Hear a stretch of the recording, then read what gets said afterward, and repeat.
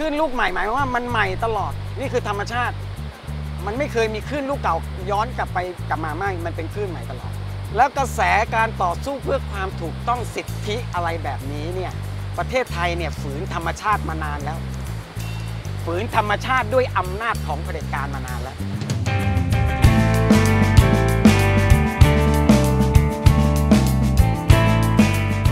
นี่คือการเคลื่อนไหวของเด็กเพื่ออนาคตของเขาเอง พี่ไม่มีอนาคตแล้ว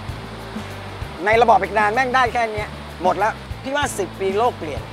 ความเชื่อของคนรุ่นเก่าที่ฝังแบบนี้ตายไปเรื่อยๆ แล้วเด็กเกิดใหม่เพิ่มขึ้นเรื่อยๆ ความเชื่อความกล้าหาญความคิดแนวเนี้ยมันจะไม่หายไป เพราะมันเป็นความคิดที่สากลมีประเทศไทยที่ยังเป็นอย่างนี้อยู่เผด็จการปกครองด้วยการปิดปาก ปิดสื่อเมื่อก่อนเผด็จการทำได้ ปิดสถานีโทรทัศน์ ปิดวิทยุ แต่วันนี้โลกของอินเทอร์เน็ต โลกของดิจิตอล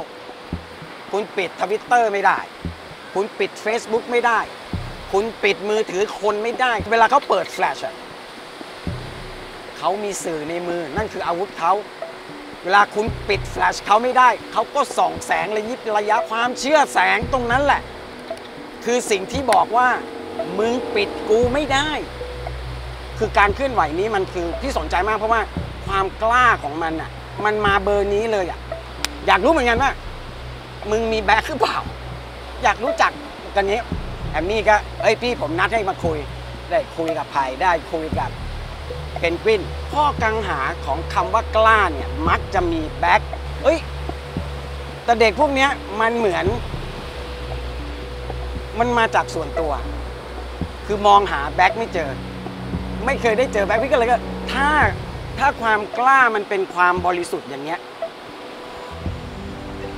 คือพี่หมดข้อกังขาพี่ได้แต่ชื่นชม เขารู้ด้วย ว่าเขาจะเจอกับอะไร ตายก็ก็โอเคพี่ ถ้าได้ตายเพื่อการเปลี่ยนแปลงไปในสิ่งที่ดีขึ้น หรือถูกต้องอุดมการณ์มันมันมันทำให้พี่รู้สึกว่า เราอะกระจอกเลย ที่ผ่านมาเราที่แม่งเหมือนดูเป็นคนกล้าเป็นคนกบฏคือรุ่นพี่เนี่ย ทุกวงการไม่กล้าพูด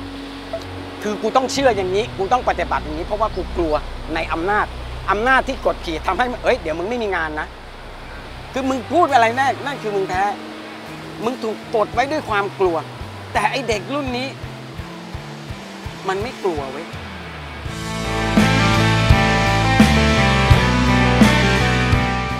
คนรู้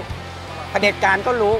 เผด็จการมันถึงคุมภาพยนตร์มันใช้ระบบเซ็นเซอร์หรืออะไรทั้งหมด แล้วกูถามว่าภาพยนตร์ไทยทำไมหนังไทยไม่ไปถึงไหน จะให้หนังไทยไปถึงไหน ระบบเซ็นเซอร์เป็นอย่างนี้อยู่ มึงก็พูดได้แต่เรื่องใต้เตียงแค่นั้นแหละใช่ปะเรื่องศักดินาไอ้เฮียจะเจ้าชายรักเจ้าหญิงไอ้เฮียรักคนใช้ชายกลางชายเฮียอะไรหนังที่มึงคิดมันเป็นแบบนั้นหมด มันไม่มีหนังที่แบบขับเคลื่อนธุรกิจ หนังที่สู้เพื่ออุดมการณ์เฮียมึงไม่เคยเห็นหรอกในหนังเนี่ยถ้ามีทำออกมาก็แบบแค่นๆเพราะว่ามึงอยู่ระบบเซ็นเตอร์คุมไม่อยู่ ก่อนหน้านี้ทั้งหมด ศิลปะใช้รับใช้จินตนาการของพี่ รับใช้ความชอบส่วนตัวของพี่ แต่1410 มันรับใช้ความจริงในประเทศนี้ที่ถูกปิดบังความจริงเป็นสิ่งที่เผด็จการกลัว ความจริงเป็นสิ่งที่ประชาชนชาวไทย ไม่เคยรู้ด้วยว่าความจริงคืออะไร เพราะอยู่กับเฟกนิวมาตลอด เป็นความงด ความงาม ใช่ความชั่ว อันอาจขุนอาจค้น หม่นมัว แต่ก็เริ่มจะเป็นตัว เป็นตน 14 ตุลาเล่าเรื่องขวัญของ 14 ตุลา 2563 และ 14 ตุลาอีก 200 ปีข้างหน้า หนังแบ่งเป็น 3 part การเดินทางข้ามเวลาเพื่อมาเปลี่ยนปัจจุบัน ถ้าเห็นโปสเตอร์เนี่ย มันจะเป็นโลกอนาคต แต่ based on สิ่งที่พวกแกนนำทั้งหมด พวกนักศึกษาทั้งหมดที่ทำทำทำอยู่เนี่ย based on true story ของคนคนนี้ในอดีตและปัจจุบัน มันต้องใช้ footage ของของเหตุการณ์จริง เป็นงาน documentary drama นิดหน่อยอะตัวเอกจะถูกเปลี่ยนไปตามสถานการณ์ปัจจุบันจริง ซึ่งปีนี้พี่ไม่รู้ยังไง แต่พี่จะเปิดกล้องปีหน้า 14 ตุลาวันเปิดกล้องปีหน้านั่นมันมันก็จะบอกอะไรหลายอย่างไม่พี่พี่ดู character เฮ้ยที่น่าสนใจแล้วพี่ก็ถามเขาเฮ้ยสนใจจะทำงานด้วยกันป่ะเขาสนใจก็จบพี่พี่เลือกคนแค่นั้น เอาเอาสารตั้งต้นที่หัวใจก่อนดีเทลไม่ลง เมนูเหมือนกันเฮ้ยไม่รู้เรื่องนะ แต่ว่าสนใจทำงานเอาไว้ก่อน น้องเมนูเขาจะเป็น เด็กผู้หญิงคนหนึ่งที่ชู 3 นิ้วอยู่ที่เชียงใหม่แล้วมันมันพี่เห็นซีนน่ะไม่แบบโอ้ยนี่ซีนหนัง น้องไม้น้องไม้กับแอมมี่พี่ถือว่ามันเป็นตัวแทนคน คนรุ่น รุ่นกล้า เรียกว่ารุ่นกล้าตัวจริง รุ่นผ่านคุกอะกูยังไม่เคยเข้าคุกเลยอะไอ้เหี้ยกูอายอยู่เนี่ย เออคือมันเฮ้หรือว่ากูต้องเข้าคุกเป็นเพื่อนมันสักหน่อยมันบางทีถึงคิดอย่างนั้นนะไอ้เหี้ยแม่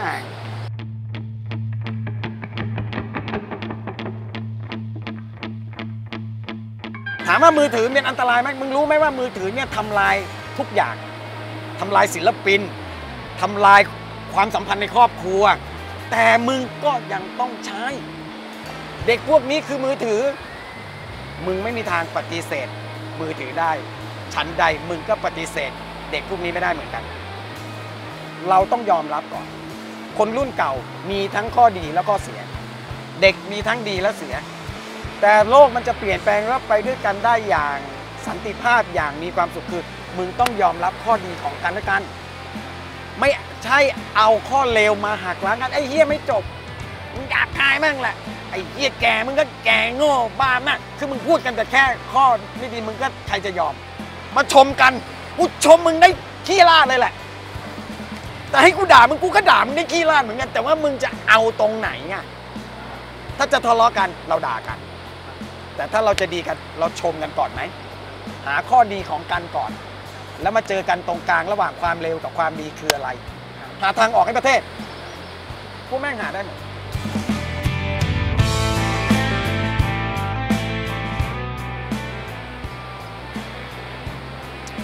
มันเป็นแฮปปี้เอนดิ้งที่แกรนมากในความรู้ของพี่แม่งแกรนจริงๆสถาบันทหารสถาบันกษัตริย์ ทั้งสถาบันประชาชน ทุกคนจะอยู่ด้วยกันด้วยความตั้งใจที่ดีต่อกันถ้าเรามองด้วยความตั้งใจดีแม่งจะดีหมดแต่วันนี้ถ้าเรามองกันเป็นศัตรูมึงศัตรูหมดมันเลวหมด เพราะทุกคนมันมีทั้งดีและเลวความขัดแย้งมันเกิดขึ้นจากการโจมตีข้อเลวกัน ที่เชื่อว่าเวลาหนังเรื่องนี้เสร็จทุกคนจะเปลี่ยนมุมมอง กับนักศึกษากับสถาบันกษัตริย์ กับทหาร กับคอนฟ lict ทั้งหมด เอ้ยมึงจะสามารถทำหนังเรื่องเดียวทำให้คนทั้งโลกโดยคนในประเทศรักกันได้ กูจะพยายาม นั่นคือความตั้งใจนั่นคือสิ่งที่พี่คาดหวังนั่นคือสิ่งที่พี่คาดหวัง